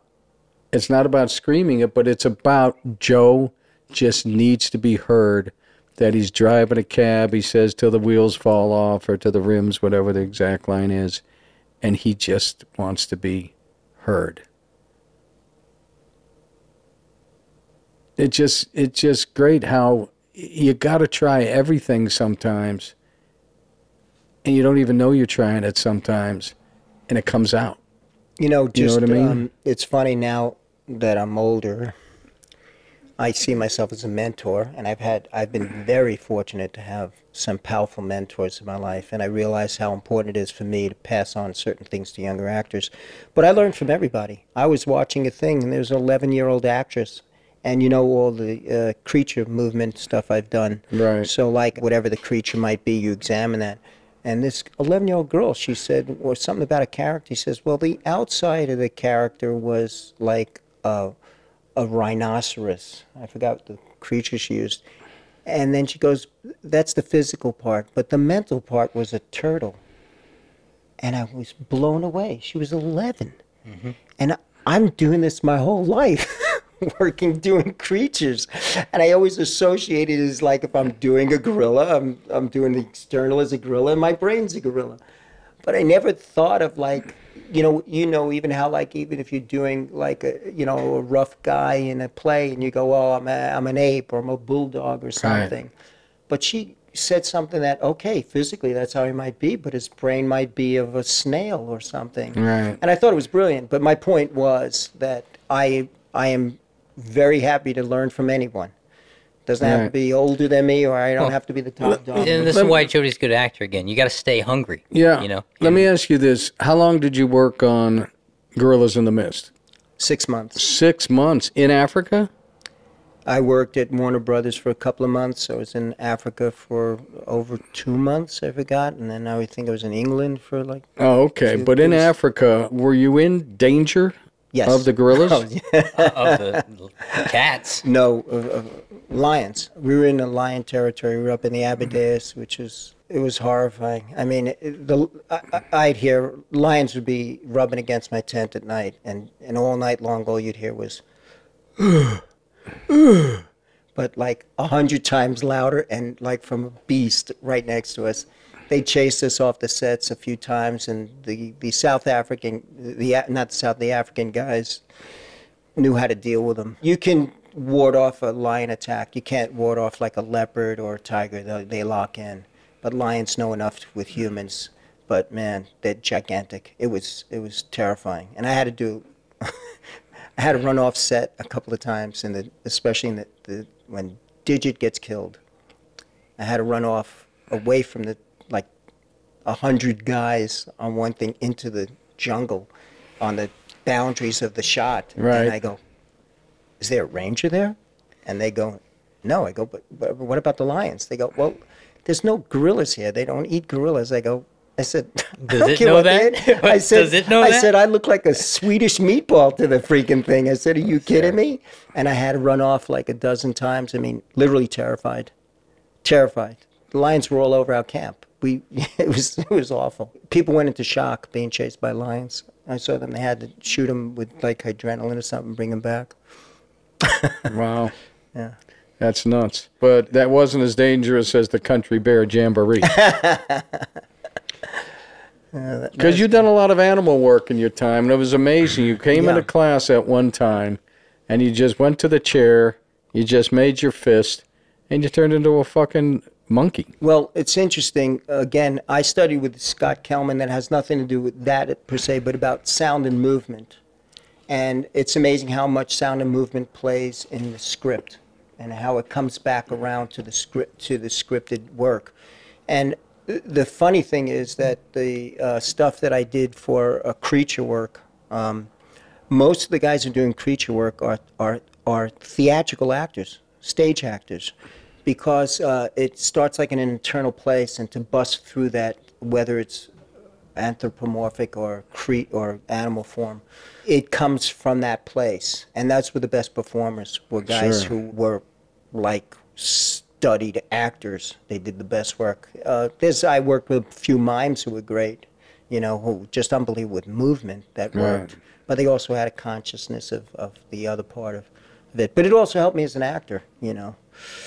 And you know, it was like I talked to one guy, you know, who every time you know the person I'm talking about, every time he walked on stage, it was like he didn't know how to walk, and he was a world class Ballerina. ballerina. He's Yeah. a well, what do you say, guy? Ballet. He, he was took ballet for years. Yeah. And I said to him, dude, incorporate that for Right. a minute. The body Right. language. It's awful. And, and it was very, it was very, um, right. You would never believe his technical. resume, right? When yeah, when we was saw very him work. technical, and then didn't really fit into what You know? was going on, which was a shame because it was really, really good. We're going to insert some of the stuff with you with your sword fighting and whatnot because that's pretty fucking amazing. I tried to warn you. Prepare to die. Have it your way. So you, you taught stage combat, but you were able to use it in shows, and Incorporate it wherever you can. I've seen on your reel when you were submitting it for the Russo Brothers project on Broadway. That was Well, I had a theater company that uh, we did shows for 10 years, so, you know, we did all the choreography for that. Um, I was in a couple off Broadway and that moved to Broadway productions. I didn't choreograph the stuff, but we did executed the choreography, I should say. Listen, for me, I think combat is one of my biggest pet peeves. I mean, the last thing most people do in real life is get physical with another Right. person. Right. So it has to be more dropped in. It has to be more visceral. It has to be more authentic. And like watching people execute combat for me is just like, oh my god, what is going on? You have to be in the moment. So in the moment. Dirty it up. Well, You it's gotta- it's crazy because we all know in real fights, no one gets punched a hundred times and goes over exhausting. tables. Anyone who punches, a- Yeah. anyone who studies combat or fight, uh, like actual fighting, you know that throwing a punch is almost more exhausting than being punched half the time. And that's why Cassavetes' Chinese bookie film, they take a guy outside in the back and they punch him like three times. They rough him up. Eesh. They take him and it's like bam, bam, bam, and the guy's fucked up because that's real life. Eh. You get a big guy punching a smaller guy three times hard, Eh. he's fucked up. You know what I mean? That was Cassavetes. He kept it. He kept it real. John That doesn't Cassavetes was unbelievable, by the way. There's a book, I forgot the name of it, that is recommended to anybody to read because people don't understand how important this cat was. Cassavetes. Yeah. I know his son Nick, and it's- I can't believe, you know, that was his dad. Nick is one of the writers on the new The- Roadhouse. Oh. Is that what I'm thinking of? I'm not sure, but Don't sue me if I made a mistake. So, yeah, come on, bring it. well, I think we're coming to the end. What you wanted to say something? Well, I'd like to plug my own podcast. if I of might. course, you're going to plug it. Yeah, oh. that's what Scott was going to ask you. Oh, great. acting as if we were going to rip you off. Rip me off. Yeah, if you to plug. Show him his camera. A podcast I do recently. It's called Three Brothers and a Shot of Milk. That's brothers misspelled. That's N for a capital nerd. Yeah, it's geek content. So if you like if you like comic books and superheroes and movie stuff like that, that's what we talk about. Three brothers and a shot of milk. All right. Anything about your coaching? Any Well, I- website? I privately coach and I'm trying to take less clients. I want more time for me. So if you if you find me you know, go You know- ahead and approach. me. I'm not. know, a- I don't actively. An interesting thing, Jack and I, uh, we build, we started, we were building sets for theaters and stuff. Now we build major projects, film, TV, all major music videos. Jackie's and- is your mentor. And well, I met. it's funny, Jack and I were working on on something on a stage, and we just started talking about acting. And I looked over, and you know, Jack's a lot younger than me, and he, and he started like, you know that? Oh, this, and then we got into this really incredible conversation about acting. That's how we became friends on that. What- So- Come on, man. You and I knew each other 27 years or more before we I, talked yeah, I acting. couldn't believe it. well, it we goes talked- back to we All we talked- talked about was basketball. Right, but we saw each other all When the Molly time. was dunking. yeah.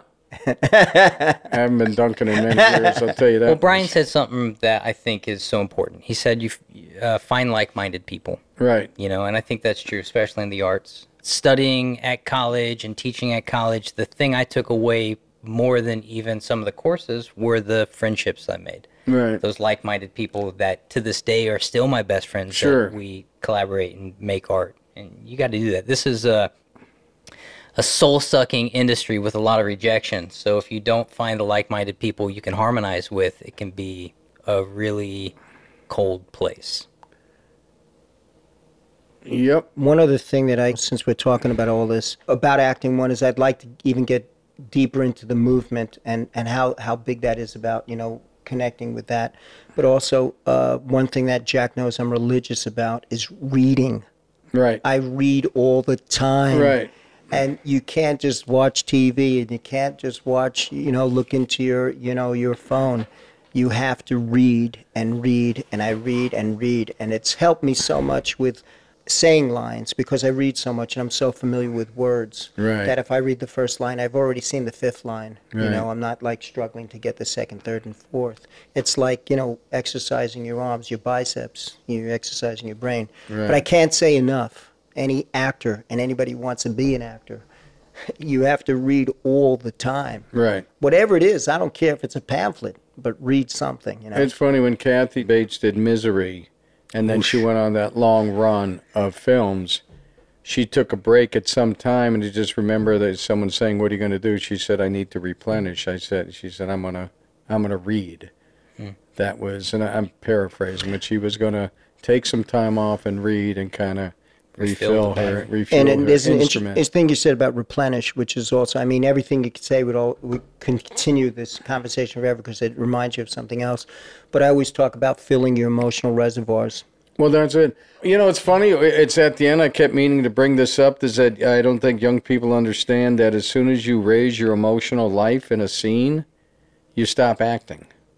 You're not thinking anymore. If you raise your emotional life to a certain level, you are now just reacting. You're no longer. Billy Elliot said it. He goes, "It's electricity. You just your Yeah. no your lizard brain takes over and you Yeah, just I wanted to say that early on. I mean to say that a lot. But well, people just don't understand. Anyway, I think that's about it, uh, Great. guys. Hey, Thank man, you thanks so, much, much for, for inviting us. Do you want to any website or social media or anything you want to? No, no, I'm, I'm like, Yeah, make something up and then get like an Instagram account. or- I'm not kidding. He has an Instagram account. You can check out No, no, Jody's no, no. personal life on uh, Little Saint Jody. He's hold on. Instagram. Jack started that. I never posted one thing well, you got to start posting now if you want to be an actor.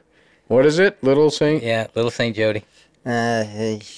Little Saint Jody for Jody Saint Michael. Listen, I woke up one day and found myself on Facebook. I didn't put it up. Somebody else did. I heard you woke up, got out of bed, and ran a comb across your head. Aww. A long time ago. Now it's uh, just buzz.